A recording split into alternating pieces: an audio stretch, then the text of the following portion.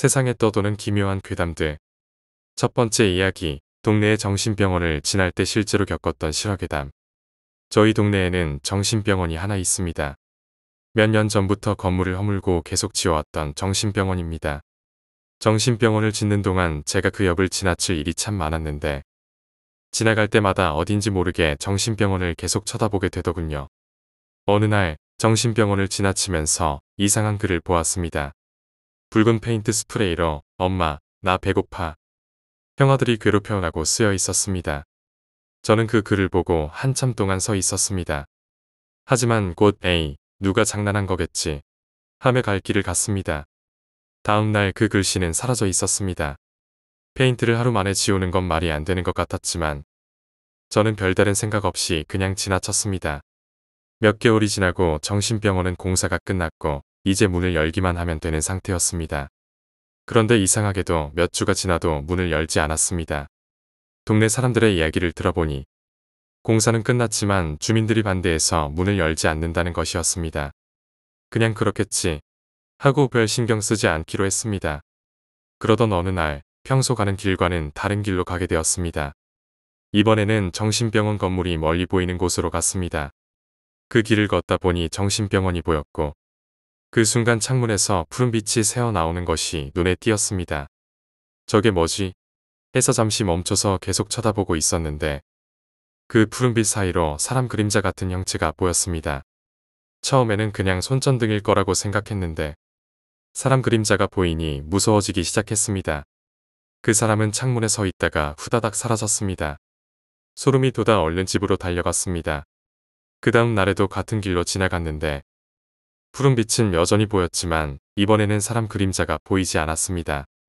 그 뒤로 정신병원에서 푸른 빛은 더 이상 보이지 않았습니다. 하지만 그 사건 이후로 우리 동네에서는 점점 이상한 일이 벌어지기 시작했습니다. 동네 친구가 저에게 와서 말하더군요.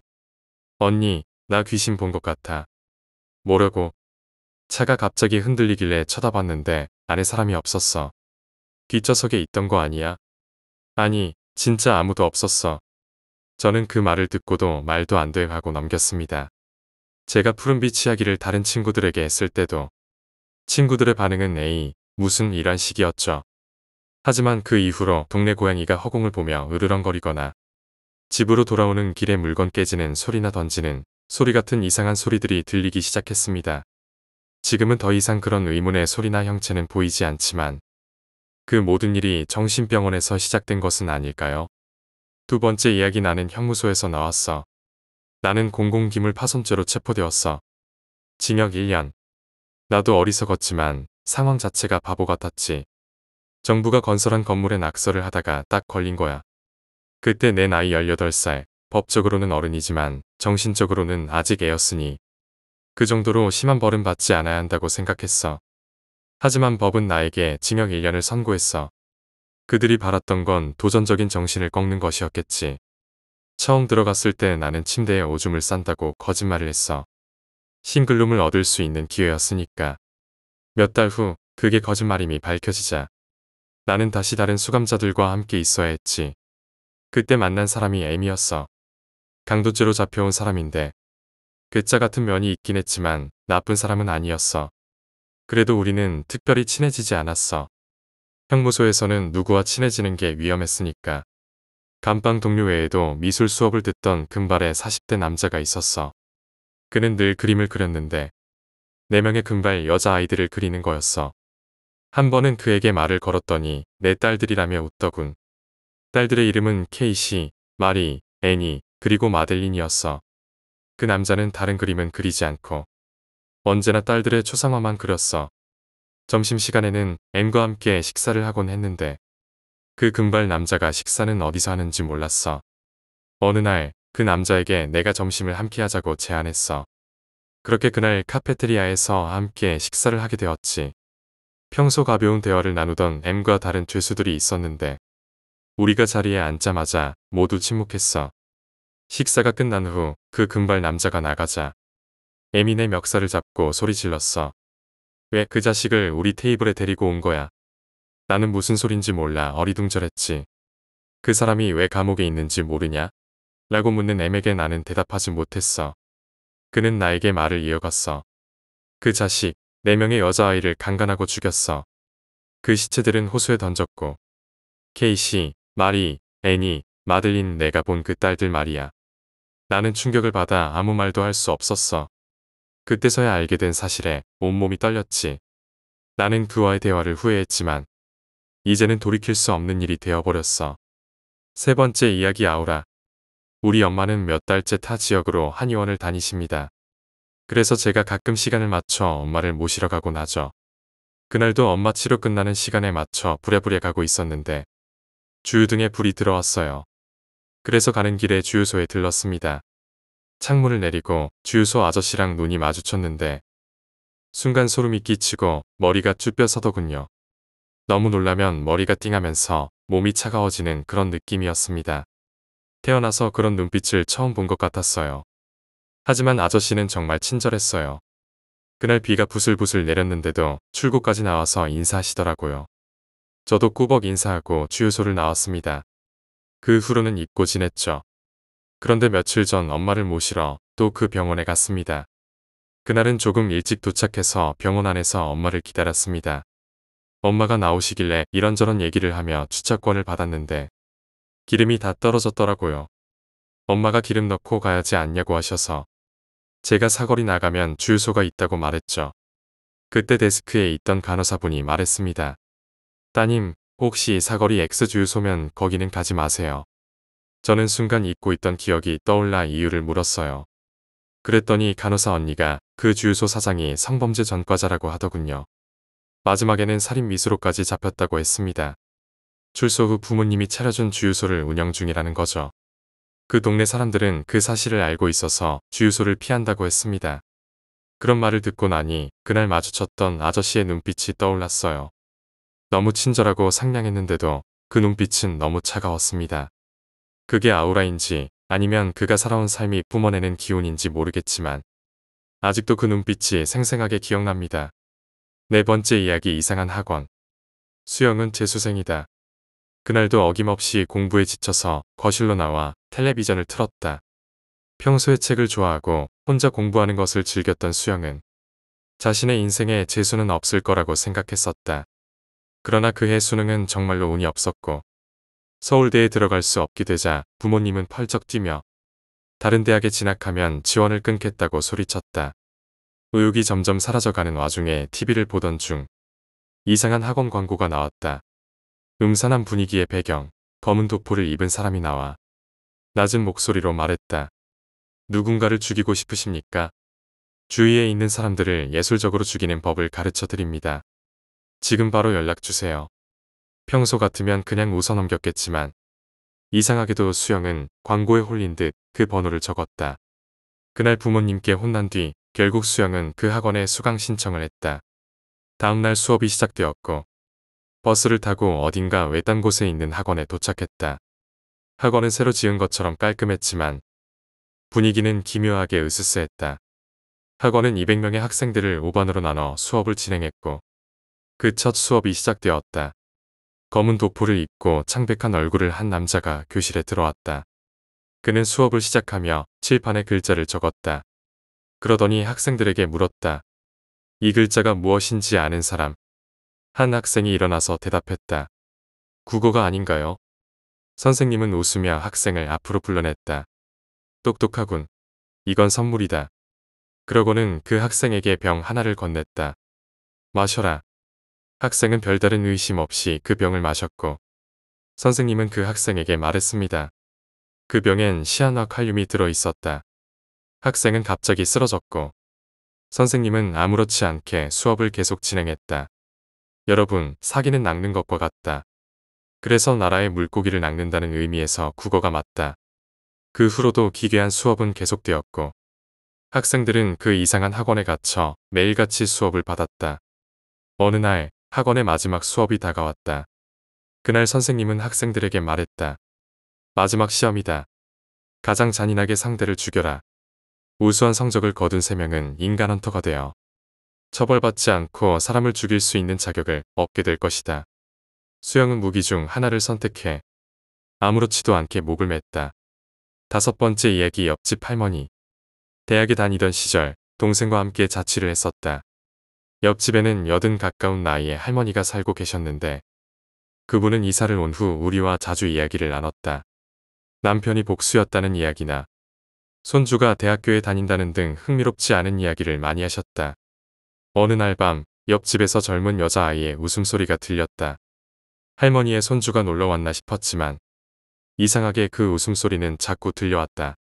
그 후에도 가끔 밤에 들리는 웃음소리가 점점 기괴하게 느껴졌고 어느 날은 할머니의 목소리도 들렸다. 슬픈 듯 안타까운 목소리였다. 그리고 다시 여자아이의 웃음소리가 이어졌다. 소름이 끼쳤다. 한참 후 할머니가 보이지 않자 걱정이 되어 부모님이 보내주신 반찬을 나눠드리러 갔다. 오랜만에 본 할머니는 기운이 없어 보였고 반찬을 받으시곤 천천히 집으로 들어가셨다. 며칠 후 할머니의 딸이 우리 집에 찾아와 할머니가 보이지 않는다며 도움을 요청했다. 경찰까지 출동해 수색을 했지만 몇 시간 후 대형마트 앞에서 할머니가 발견되었다. 그 후 할머니는 그 집을 떠나셨고 할머니의 손주가 사실 그 집에 거의 오지 않았다는 사실을 알게 되었다. 그 후 동생과 이야기를 나누다. 동생이 말했다. 형은 웃음소리만 들었어? 나는 하하는 웃음소리만 들었다고 말했지만 동생은 그 웃음 뒤에 낮고 작은 목소리로 죽어라는 소리가 들렸다고 했다. 여섯 번째 이야기 탄광의 사고. 어릴 적 일이지만 묘하게 생생하게 기억나는 이야기가 있어. 내가 살던 시골 근처에는 탄광이 하나 있었어. 그 탄광에서 사고가 났고 8명이 탄광 아래 갇혀 생매장이 되었어. 그 중에는 우리 옆집에 살던 20살 형도 있었지. 옆집 아줌마는 매일같이 탄광 현장에 찾아가 반쯤 미친 사람처럼 울부짖으며 아들을 구해내라고 소리쳤어. 그런데 사고가 발생하고 나흘째 되는 날 아줌마는 갑자기 얌전해졌어. 마치 악령이 들렸던 사람이 정신을 차린 것처럼 말이야. 우리 어머니가 이유를 물어보니 아줌마가 이렇게 말했어. 사고가 일어난 다음 날부터 불단에 올려두던 차에 계속 거품이 일었어. 아들이 숨을 쉬는 것처럼 괴로운 숨소리가 들리더니 오늘 아침에는 더 이상 거품이 일지 않더라고. 아들이 이제 숨을 거둔 것 같아. 며칠 뒤 탄광이 열렸고 옆집 형은 싸늘한 시체로 돌아왔어. 일곱 번째 이야기 배를 타고 나갔다. 태평양 전쟁 직후 아버지에서 어부로 일하던 우리 증조할아버지가 겪은 일이야. 어느 여름날 증조할아버지는 조카와 함께 작은 배를 타고 바다로 나갔어. 현지 사람들만 아는 명당에 도착해 낚싯대를 내렸지만 그날따라 입질이 전혀 없었대. 시간이 지나 조카는 더운 날씨에 질렸는지 바다에 뛰어들어 수영을 했고 증조할아버지도 잠시 쉬기로 했어. 그때 아무 생각 없이 바다를 내려다보던 증조할아버지는 해저에 무언가 서 있는 걸 보았어. 분명 사람 같았지. 그것도 한 명이 아니라 여러 명이 줄을 지어 천천히 배를 향해 걸어오고 있었어. 증조 할아버지는 어린 시절 들었던 이야기가 떠올랐어. 바다에서 이상한 것을 보면 소리 지르거나 눈을 마주치지 말고 봤어도 본 척하지 않고 도망쳐라. 그래서 이를 악물고 평정심을 유지한 채 배에서 수영하던 조카에게 아무렇지 않게 말했어. 이제 돌아가자. 그때 조카 바로 밑에 한 여자가 서 있었어. 방공 두건을 둘러쓰고 몸빼바지를 입은 젊은 여자였어. 조카는 전혀 눈치채지 못했지만 그 여자는 점점 배 가까이 다가오고 있었지. 증조 할아버지는 그 여자를 보지 않으려고 눈을 돌리며 서둘러 배를 출발시켰어. 무사히 항구에 도착했을 때 온몸이 땀과 바닷물로 젖은 듯 축축하게 느껴졌다고 해. 여덟 번째 이야기 밤에 마주친 낯선 사람. 몇 년 전 늦은 밤 혼자 집으로 돌아가는 길이었어. 그날따라 유난히 바람이 많이 불고 길은 어둡고 적막했지. 가로등 아래를 지나는데 갑자기 이상한 기분이 들었어. 누군가가 나를 쳐다보고 있는 것 같은 느낌이었어. 나는 발걸음을 재촉하며 걸었는데 갑자기 발소리가 멈추지 않고 내 뒤를 따라오는 걸 느꼈어. 심장이 쿵쾅거리기 시작했어. 그냥 내 착각일 거라고 스스로를 안심시키면서도 뒤를 돌아볼 용기가 나지 않았지. 그런데 발걸음 소리는 점점 가까워졌고 급기야 내 바로 뒤에 누군가가 있는 듯한 느낌이 들었어. 결국 나는 용기를 내어 뒤를 돌아보았는데 거기엔 정말로 낯선 남자가 서 있었어. 그 남자는 아무 말도 하지 않았고 그저 나를 뚫어지게 바라보고만 있었어. 나는 그 자리에서 얼어붙은 것처럼 움직일 수가 없었지. 그러다 남자가 갑자기 웃으며 다가오더니 작은 목소리로 혼자 다니지 않는 게 좋을 거야 라고 말하고는 사라졌어. 그 순간 온몸에 소름이 돋았고 나는 더 이상 그 길을 걷고 싶지 않아. 주변에서 택시를 잡아 타고 집으로 돌아왔어. 그 후로도 그 남자의 얼굴이 머릿속에서 떠나지 않았어. 그리고 그날 이후로는 그 길을 밤에 혼자 걷지 않기로 했지. 아홉 번째 이야기 수상한 아파트. 얼마 전 친구가 이사한 아파트에 놀러 갔을 때의 일이야. 그 아파트는 신축이라 그런지 외관도 깨끗하고 좋았어. 친구는 집안을 소개해주면서 여기저기 자랑을 했고 우리는 한참 수다를 떨다 저녁을 먹으러 나갔지. 저녁을 먹고 다시 아파트로 돌아왔는데 복도를 지나가는데 어딘지 모르게 공기가 무거웠어. 평소와 다른 분위기에 친구도 이상한 느낌이 든다고 했지.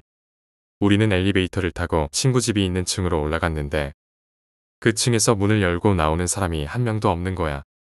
밤이라서 그런가 보다 했지만 묘하게 모든 집이 텅 빈 것처럼 느껴졌어. 친구는 그게 신경 쓰였는지 그날 밤 나에게 집에서 자고 가라고 권유했어. 그날 밤 우리는 둘이서 거실에 이불을 깔고 자려고 했어. 그런데 자정이 다 되어갈 무렵 갑자기 복도에서 이상한 소리가 들리기 시작했어. 처음에 무슨 소리인지 알 수 없었지만 점점 더 가까워지면서 발소리 같은 소리가 들렸어. 친구와 나는 무서워서 말없이 서로를 쳐다보았지. 그 발소리는 점점 문 앞까지 다가오더니 멈췄어. 나는 숨을 죽이며 그 소리가 다시 들리기를 기다렸지만 더 이상 아무 소리도 들리지 않았어. 다음날 아침 친구와 나는 그 일을 다른 사람들에게 이야기했지만 다들 별일 아닐 거라고만 했어. 그 후로 그 아파트에 다시는 놀러 가지 않았어. 열 번째 이야기 이상한 소포. 몇 년 전 집에 혼자 있을 때 있었던 일이야. 그날은 비가 많이 내리는 날이었고 나는 집에서 쉬고 있었어. 그러다 문 밖에서 벨 소리가 울렸어. 누군가 소포를 배달한 것 같았어. 문을 열어보니 정말로 소포가 하나 놓여 있었어. 그런데 이상하게도 소포에는 보낸 사람의 이름이 없었고 주소도 제대로 적혀 있지 않았어. 나는 일단 그 소포를 집 안으로 가져왔어. 하지만 뭔가 꺼림칙한 기분이 들었어. 포장을 뜯으려는 순간 갑자기 전화가 울렸어. 모르는 번호라 전화를 받지 않았지만 계속해서 같은 번호로 전화가 걸려왔어. 몇 번을 무시하다가 결국 전화를 받았어. 전화를 받은 순간 수화기 너머로 낯선 목소리가 들렸어. 속포를 열지 마라. 그 말을 듣고 온몸에 소름이 돋았어. 나는 곧바로 소포를 버리기로 결심하고 문 밖으로 그 소포를 내던졌어. 그 후로 다시는 그 번호로 전화가 오지 않았고 누가 그 소포를 보냈는지 왜 보냈는지는 끝내 알 수 없었어. 열한 번째 이야기 그림자 몇 달 전 집 근처에 새로운 공원이 생겼어. 나는 저녁마다 운동을 하려고 공원을 자주 갔었지. 그날도 여느 때처럼 운동을 하려고 공원에 갔는데 무언가 이상한 느낌이 들었어. 주변에 아무도 없고 바람도 불지 않았는데 내 뒤쪽에서 발자국 소리가 들렸거든. 처음에는 그냥 다른 사람이 걷는 소리겠지 하고 무시했어. 그런데 공원의 중앙에 다다랐을 때 갑자기 내 옆에서 뭔가가 지나가는 듯한 느낌이 들었어. 순간 소름이 돋았고 주위를 둘러보았지만 아무도 없었어. 뭐지? 하며 다시 걸으려던 순간 발밑에 나와 함께 걷고 있는 또 다른 그림자가 보였어. 하지만 그림자의 주인인 사람은 보이지 않았지. 분명 나 혼자였는데 내 옆에는 분명히 또 하나의 그림자가 나와 나란히 걷고 있었어. 그 순간 나는 뭔가 크게 잘못되었다는 걸 느꼈어. 그림자는 마치 내 행동을 그대로 따라 하는 것처럼 보였지만 어딘가 어긋난 느낌이었어. 그리고 점점 그 그림자는 내 그림자와 겹쳐지더니 마치 내 그림자에 흡수되듯 사라졌어. 너무 놀란 나는 그 자리를 벗어나 집으로 달려갔어. 그 후로도 한동안 그 공원을 지나갈 때마다 그날 본 그림자가 떠오르곤 했어. 그 후로는 그 공원에 혼자 가지 않기로 했어. 열두 번째 이야기 병원에서 있었던 일. 어느 날 갑자기 심한 복통이 와서 응급실에 가게 되었어. 늦은 시간이라 병원은 조용했고 몇 명의 환자들만 대기실에 있었지. 나는 진료를 기다리며 앉아 있었는데 문득 내 옆에 앉아 있던 사람이 이상하게 느껴졌어. 그 사람은 머리가 헝클어져 있었고 옷도 다 찢어져 있었어. 하지만 가장 이상한 건 그 사람의 얼굴이었어. 아주 창백하고 마치 생기 없는 얼굴처럼 보였거든. 나는 그 사람을 의식하지 않으려고 고개를 돌렸지만 그때 그 사람이 나에게 다가와서 작은 목소리로 말을 걸었어. 여기 있으면 안 돼. 그 말에 나는 얼떨떨해지면서도 무언가 잘못되었다는 걸 느꼈어. 나는 그 사람의 말을 무시하려 했지만 계속해서 같은 말을 반복했어. 여기 있으면 안 돼. 결국 나는 너무 불안해져서 자리를 떠났어. 그 후로 진료를 마치고 다시 대기실을 지나갔는데 아까 그 자리에 아무도 없었어. 마치 그 자리에 누군가 있었던 흔적조차 없었지. 나는 그 일이 계속 신경 쓰였지만 어떤 이유에서 그 사람이 그 말을 했는지는 끝내 알 수 없었어. 열세 번째 이야기 이상한 이유. 몇 년 전 내가 살던 아파트 옆집에 이상한 사람이 살았어. 그 사람은 거의 밖으로 나오지 않았고 가끔 밤에 큰 소리로 뭔가를 부수는 듯한 소리가 들렸어. 처음에는 그냥 좀 괴짜인가 했지만 시간이 지날수록 그 사람이 점점 이상하게 느껴지기 시작했어. 어느 날 밤 그 집에서 이상한 소리가 나기 시작했어. 마치 누군가 집 안에서 싸우는 듯한 소리였지. 나는 신경 쓰지 않으려 했지만 소리가 너무 커서 도저히 무시할 수가 없었어. 결국 나는 경찰에 신고했어. 경찰이 도착해서 그 집 문을 두드렸는데 한참 후에야 문이 열렸어. 그런데 문을 연 사람은 평소와는 다르게 아주 멀쩡한 모습이었어. 경찰에게도 그저 아무 일도 없었다고만 말했고 결국 경찰은 그냥 돌아갔어. 하지만 그날 밤 이후로도 그 집에서 계속해서 이상한 소리가 들렸어. 그리고 얼마 후 그 사람은 아파트를 떠났어. 그 후로 그 사람의 흔적은 아무데도 남지 않았고 아파트 주민들도 그 사람이 언제 이사 갔는지 아무도 모른다고 했지. 14번째 이야기 고장난 라디오. 몇 년 전 부모님 댁에 있는 오래된 라디오를 우연히 발견했어.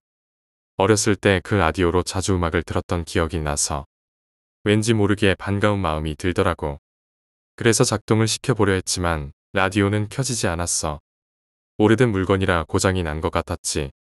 그런데 그날 밤 이상한 일이 일어났어. 갑자기 라디오에서 소리가 나기 시작한 거야. 분명 전원도 들어오지 않았는데 말이야. 처음에는 그냥 잡음 같았지만 시간이 지날수록 뭔가 말소리 같은 것이 들리기 시작했어. 나는 깜짝 놀라서 라디오를 꺼보려고 했지만 이미 라디오는 꺼져 있었어. 그런데도 소리는 계속해서 들려왔지. 말소리는 점점 더 뚜렷해졌고 마치 누군가 나에게 말을 걸고 있는 것처럼 느껴졌어. 도와줘. 여기 있어. 나는 그 소리를 듣고 놀라서 방을 뛰쳐나왔어. 그 후로 그 라디오를 다시 켜보지 않았어. 몇 번을 시도했지만 더 이상 소리가 나지 않았지. 하지만 그날 밤에 들렸던 그 소리는 아직도 잊혀지지 않아. 열다섯 번째 이야기 산에서의 만남. 어느 여름 친구들과 함께 산에 캠핑을 갔을 때의 일이야. 우리는 산 중턱에 텐트를 치고 즐거운 시간을 보내고 있었지. 그런데 저녁이 되어 어둠이 깔리기 시작할 무렵 이상한 일이 벌어졌어. 멀리서 한 남자가 다가오는 게 보였어. 처음엔 그냥 산에 오르는 등산객인 줄 알았지. 그런데 그 남자는 점점 우리 쪽으로 가까워지더니 우리 텐트 바로 앞에서 멈췄어. 그는 아무 말도 하지 않았고 그저 우리를 뚫어지게 쳐다보고만 있었어. 우리는 당황해서 말을 걸었지. 혹시 길을 잃으셨나요? 하지만 그는 대답하지 않고 여전히 그 자리에서 서 있었어. 한 친구가 도와드릴까요? 라고 다시 물었지만 그 남자는 가만히 서 있다가 갑자기 뒤돌아서 아무 말 없이 사라졌어. 그 순간 우리 모두 등골이 오싹해졌어. 그리고 그 후로 텐트 안에서 잠을 잘 수가 없었지. 혹시 그 남자가 다시 나타날까 봐서 말이야. 다음날 아침 우리는 서둘러 짐을 싸서 산을 내려왔어. 그리고 다시는 그 산에 가지 않았어. 16번째 이야기 이상한 손님. 내가 한때 작은 카페를 운영할 때 있었던 일이야. 평소와 다름없이 손님들을 맞이하며 바쁜 하루를 보내고 있었지. 그런데 오후쯤 한 여자가 카페에 들어왔어. 그녀는 유난히 창백한 얼굴을 하고 있었고 뭔가 이상한 분위기를 풍겼어. 그녀는 창가 쪽에 앉더니 커피 한 잔을 주문했지. 나는 그 주문을 받고 커피를 내렸어. 그런데 이상하게도 그 여자는 커피를 전혀 마시지 않고 그저 창밖만 바라보고 있었어. 시간이 흘러도 커피잔은 그대로였고 나는 무언가 이상하다는 생각이 들었지. 손님이 점점 줄어들고 저녁이 되어가던 시간. 그 여자는 여전히 자리에 앉아 있었어. 나는 마감 시간이 다가와서 슬슬 정리할 준비를 하고 있었는데 그녀가 갑자기 일어서더니 내게 다가와 말했어. 여기선 더 이상 기다릴 수 없어. 그 말을 남기고 그녀는 문을 나섰고 나는 그 후로 다시는 그 여자를 본 적이 없었어. 그리고 그날 이후 카페에서 이상한 소리가 자주 들리기 시작했어. 마치 누군가 벽 너머에서 걸어 다니는 소리였지. 나는 그 소리가 그 여자가 남긴 여운인지 아니면 다른 무언가 때문인지 알 수 없었어. 17번째 이야기 지하실에서의 소리. 어렸을 때 살던 집에는 오래된 지하실이 있었어. 지하실은 항상 어둡고 축축해서 나는 그곳을 별로 좋아하지 않았어.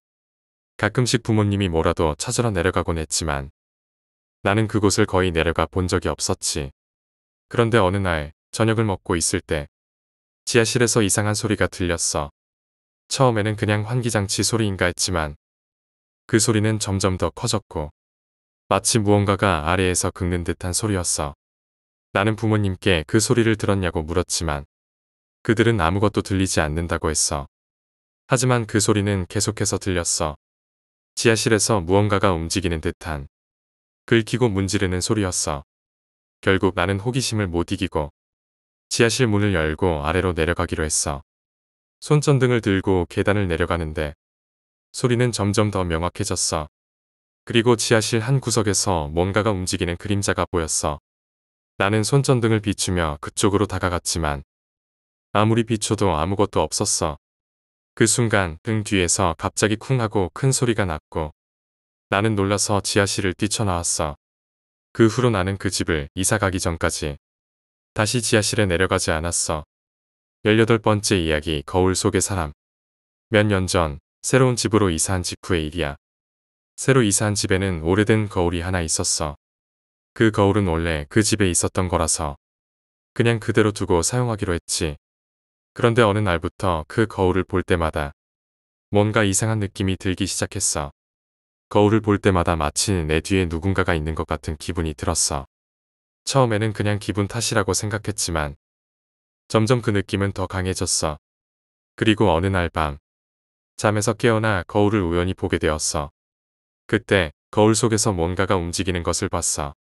내가 움직이지 않았는데도 거울 속의 내 모습이 천천히 움직이고 있었어. 나는 그걸 보고 너무 놀라서 당장 방을 뛰쳐나왔어. 그 후로 그 거울을 볼 때마다 항상 누군가가 내 뒤에 서 있는 듯한 느낌이 들었어. 결국 나는 그 거울을 치워버리기로 했고 다시는 그 집에서 거울을 두고 살지 않았어. 열아홉 번째 이야기 낡은 호텔에서의 하룻밤. 몇 해 전 출장 중에 오래된 호텔에 묵게 되었어. 당시에는 예약을 잘못해서 급하게 잡은 호텔이었지. 그 호텔은 낡은 외관과는 달리 내부는 꽤 깔끔했어. 하지만 묘하게 차가운 느낌이 들었고 무언가 불편한 기운이 감돌았어. 그날 밤 나는 피곤해서 바로 잠이 들었어. 그런데 새벽쯤 갑자기 이상한 소리에 잠에서 깼어. 무언가가 방 안을 서성거리는 듯한 소리였지. 처음에는 그냥 바람소리인가 싶었지만 그 소리는 점점 더 가까워졌고 침대 옆에서 누군가가 있는 것 같은 느낌이 들었어. 나는 조심스럽게 눈을 떴지만 아무것도 보이지 않았어. 하지만 분명히 누군가가 내 옆에서 바라보고 있다는 느낌이 강하게 들었지. 그날 밤 나는 두려움에 떨며 다시 잠들지 못하고 밤을 새웠어. 아침이 되어 호텔을 나서면서 직원에게 혹시 이상한 일이 있냐고 물어봤지만 그들은 아무 일도 없다고만 했어. 나는 그 후로 그 호텔에 다시는 가지 않았어. 스무 번째 이야기 손목시계. 내가 어렸을 때 아버지에게 받은 손목시계가 하나 있었어. 그 시계는 정말 특별한 의미가 있었고 항상 내 손목에 차고 다녔어. 그런데 어느 날 그 시계를 잃어버렸지. 아무리 찾아도 어디에 두었는지 기억이 나지 않았어. 결국 나는 포기하고 새로운 시계를 샀어. 하지만 이상하게도 그 이후로 밤마다 누군가가 내 방을 들락거리는 소리가 들렸어. 처음에는 그냥 집이 낡아서 나는 소리라고 생각했지만 점점 그 소리는 명확해졌어. 마치 누군가가 방 안에서 뭔가를 찾는 듯한 소리였지. 어느 날 밤 그 소리가 유난히 크게 들려서 나는 결국 불을 켜고 방 안을 둘러봤어. 그런데 내가 한참 전에 잃어버렸던 그 시계가 책상 위에 놓여 있는 거야. 그 시계는 분명 내가 없어진 걸 알았을 때부터 찾으려 했던 물건이었는데 어느 순간 갑자기 나타난 것이 너무 이상했어. 그 후로 그 시계를 보관만 하고 차고 다니지 않게 되었어.